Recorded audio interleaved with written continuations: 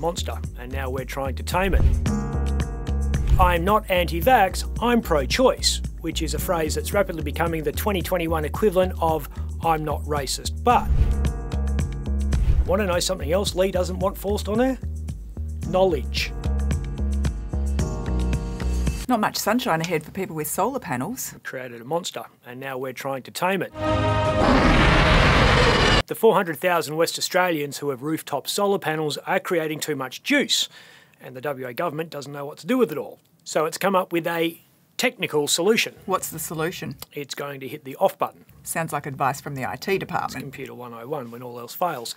It's a last ditch effort to stop the system exploding. From February 14, if you install solar panels or upgrade your old ones, the government will remotely switch off the system you just paid thousands of dollars to install without asking you. Happy Valentine's Day. Oh, that's not going to make Greta very happy. No, but I suspect Greta doesn't understand the intricacies of electron transmission. Blah, blah, blah. The problem with electricity is the grid needs to be in balance. Your generation of power needs to be closely matched to consumption, or else bad stuff happens. Nearly one in three houses in WA have solar panels. When it's sunny, which it will be for the next five months, those systems generate the same amount of electricity as the state's biggest power station. That's fine when it's really hot and everyone's aircon's set at 16 degrees, but when it's mild and power consumption's low, there's too many electrons being poured into the grid and not enough being taken out. Yes, science! Why can't they turn off the power stations? That would stop coal and gas being used. Problem solved. Hmm. You're a scientist. Not. You can't just turn these things off. You can dial them down, but not by enough to make up for the extra juice coming off everyone's roofs, I've been told. Energy Minister Bill Johnston is going to flick the off switch on our solar panels, which will force us to use excess electricity coming out of the big power stations. Lisa, if we start conserving, the environmentalists win. He says it will happen only a few times a year and only for a few hours at a time. So having too much electricity can cause blackouts. Weird, huh? He's also going to limit how much power people with big systems, more than 5 kilowatts, can pump into the grid. The government has known for a long time that this day was coming. Almost exactly 10 years ago, the then Energy Minister Peter Collier, of clan fame, was warned the system was becoming unstable because there were too many solar panels. There were only about 50,000 back then, and that was too much. Everyone rushed out to get these things because installation was subsidised and you were paid 40 cents for every kilowatt hour of unused electricity you'd fed back into the grid. It was actually pretty good coin. They had to halve the tariff a year after introducing it because it was so popular and costing so much money, and then they had to scrap the payment system entirely. Back then, like now, it was a political headache because governments don't like to be seen to be anti green. Collier's media man at the time, a guy called Darren Brown, got together with the Barnett government's spin doctor in chief, Dixie Marshall, to work out a way to massage the truth. Now, that name, Darren Brown, rings a bell.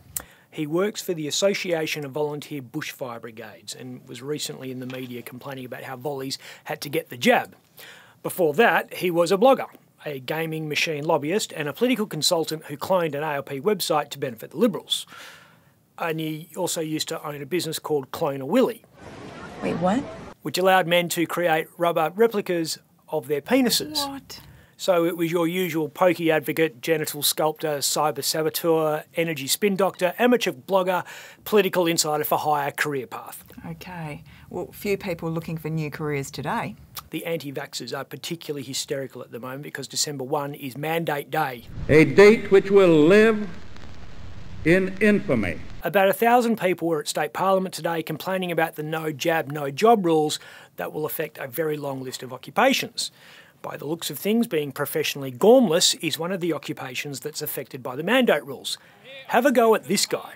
Reckon his views about vaccination are informed by reading the British Medical Journal? No, look it up when you get home.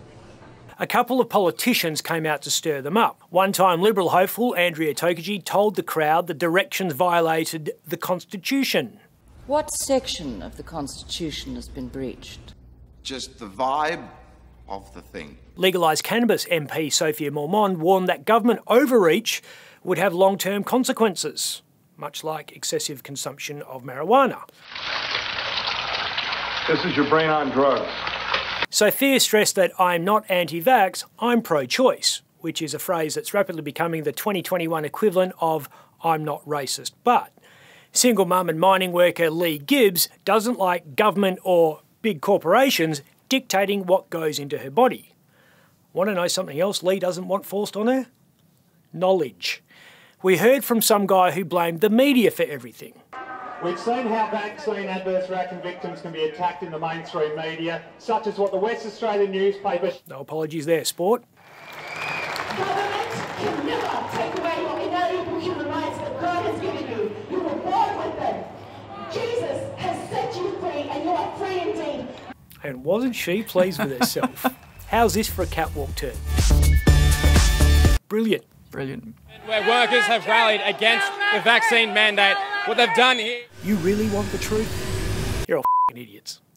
I'm Ben Harvey.